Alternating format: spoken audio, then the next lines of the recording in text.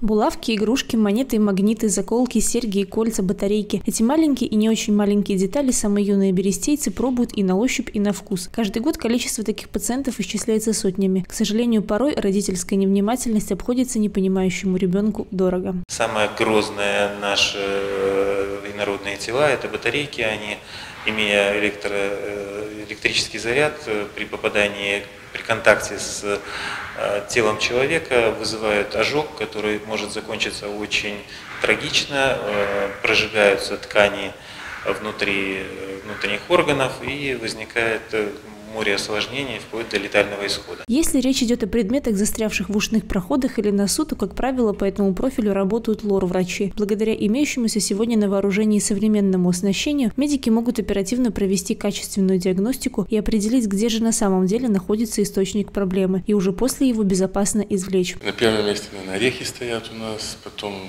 э какие-то кусочки пищи, это яблоки. Вот последнее, что мы доставали, это был арахис. Потом больше у старших детей есть вот то, что мы доставали, это, например, иголки, которые канцелярские, когда дети, скажем, во рту их не играются. Потом колпачки от э, авторучек, которые дети, опять-таки, во время школы, потом он вдыхает и оно становится в одном из бронхов. Оттягивать с походом к врачу в любом случае медики не рекомендуют. Бывает так, что только опытный специалист может дать правильное заключение и помочь с проблемой. Поэтому даже если родители уверены в качественно проведенной самостоятельной манипуляции, на консультацию к доктору все же лучше попасть. А если самому помочь малышу не удается, то здесь отчет уже идет на минуты. Состояние, которое возникает, когда ребенок вдыхает инородное тело, это состояние угрожающей жизни. Ребенок сразу ходит, скажем, с приемного отделения в отделение реанимации и находится под наблюдением врача-реаниматолога.